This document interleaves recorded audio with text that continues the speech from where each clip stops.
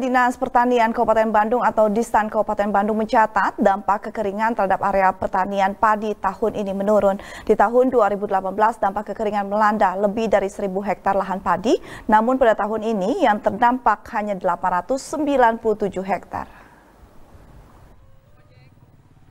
Berkurangnya dampak kekeringan berkat semakin pahamnya petani untuk tidak memaksakan diri menanam padi saat kesulitan mencari sumber air di musim kemarau.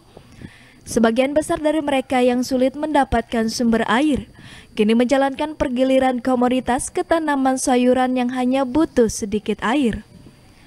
Selain itu di beberapa wilayah yang masih memiliki sumber air, Distan sudah menyalurkan bantuan pompa dan pembuatan sumur sehingga para petani masih bisa menanam padi.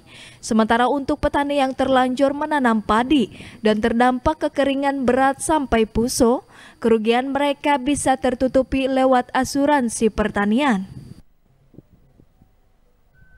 Menurut Kepala Dinas Pertanian Kabupaten Bandung Tisna Umaran, pihaknya tak menampik jika kesadaran petani untuk tak menanam padi saat kesulitan air berdampak pada hilangnya potensi hasil panen tahun ini.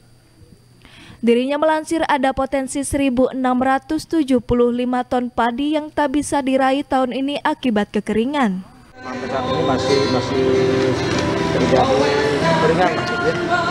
Oleh karena itu uh, upaya kita lakukan terus kita uh, bergerak dengan teman-teman tim di lapangan.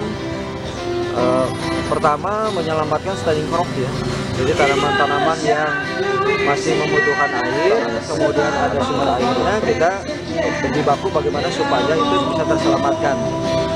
Nah, kalau tanaman-tanaman yang uh, menjelang panen saya pikir itu relatif aman lah gitu ya karena uh, usia seperti itu sebetulnya tidak terlalu membutuhkan air.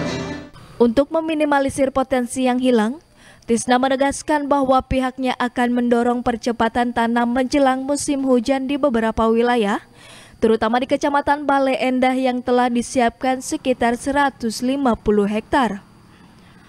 Percepatan itu diharapkan bisa membuat petani bisa mendapatkan harga jual yang tinggi di saat panen. Rezitia Prasaja, Bandung TV